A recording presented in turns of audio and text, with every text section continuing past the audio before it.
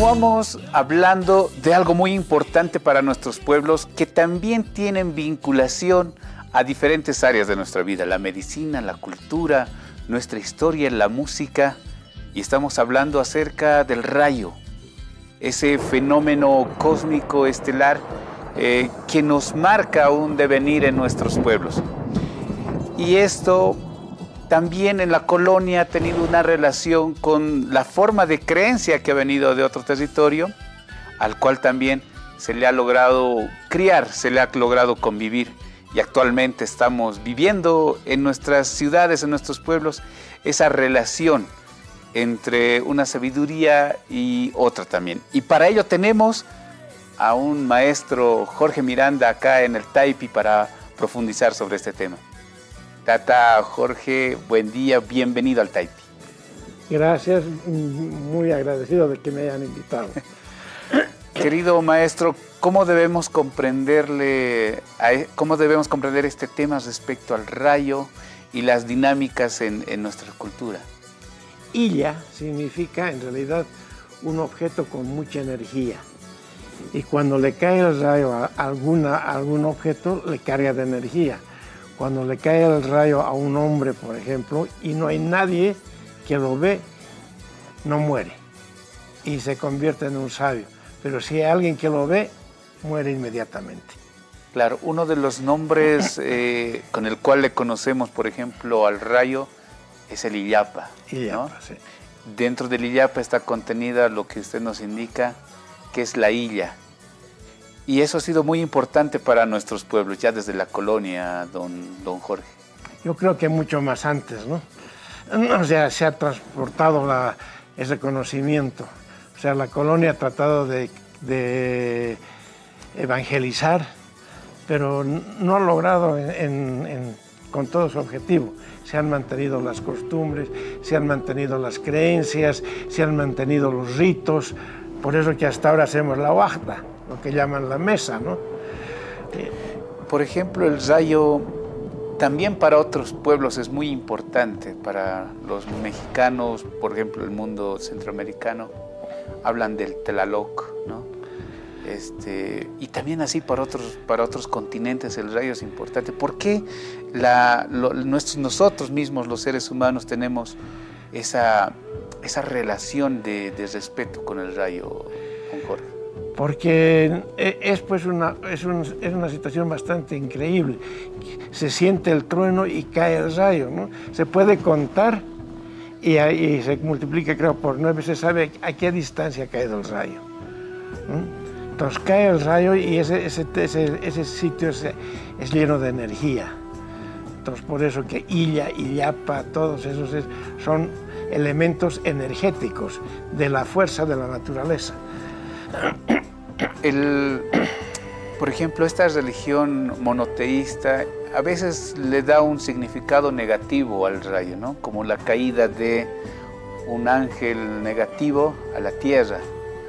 Pero en nuestros pueblos tiene otra connotación. ¿Cuál, sería esa, esa razón, eh, don Jorge?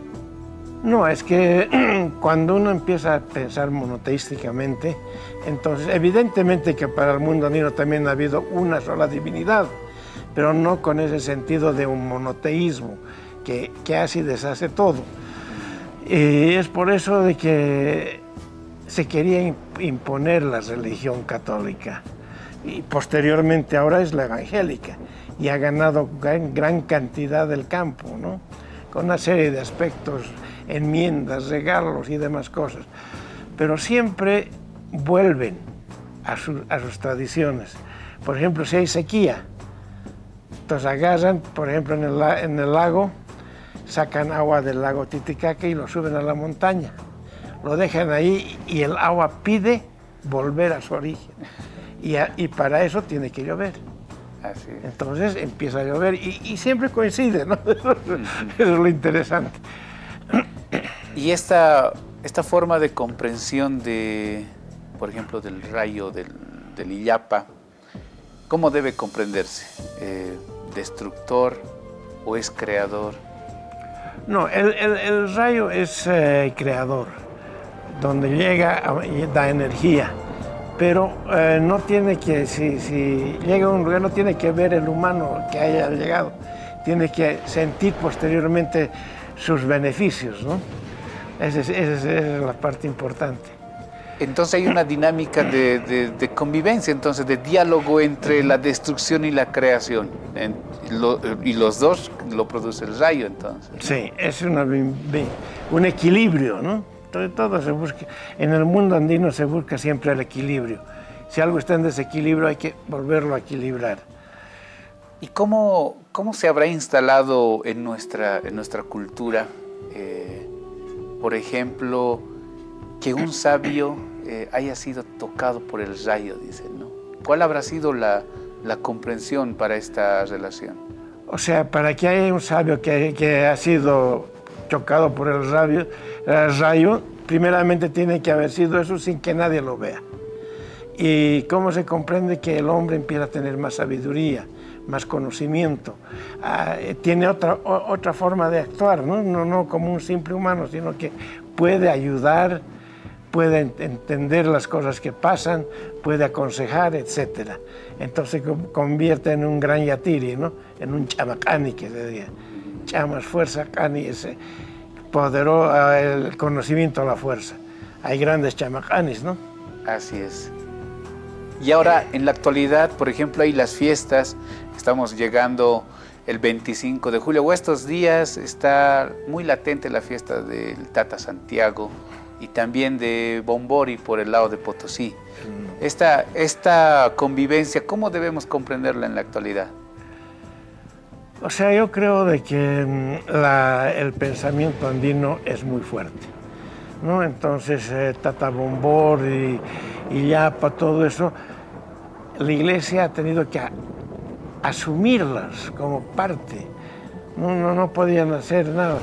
En todo, en todo aspecto, por ejemplo, eh, todas las iglesias de indios, se van a acordar, San Pedro, la, otra que es en en la ahí pues subiendo por la monte esa iglesia, al, otro lado ahí donde, donde están los, paran, los buses, ahí siempre las iglesias tienen atrio, porque el, indio no quería entrar a la iglesia. Decía, si vamos a escuchar, debes escuchar con el techo del cielo. Eso es lo directo, no es dentro de la iglesia. Entonces, si vas a ver iglesias con atrios, es que eran iglesias de indios. Y todas están en la parte eh, izquierda de, la, Paz y en la parte derecha, la Plaza Murillo, era la, la, ciudad de los blancos. Y además se cerraba, había un puente en el río Choqueapo había un puente. Y se cesaba a las 10, se levantaba el puente y a las 10 de la noche ya no pasaba nadie de un lado al otro. Ahora que lo han pavimentado no pasa nada, pero antes era así. Don, don Jorge, es impresionante hablar y también siempre se queda corto el tiempo. Eh, tenemos que hablar de este en este tiempo del rayo porque es una parte fundamental de nuestra cultura y, de cómo podemos comprender nuestra vida a través de eso. Vamos a seguir desarrollándonos en el programa Taipi durante este tiempo y permítanos un corte y retornamos con el Taipi.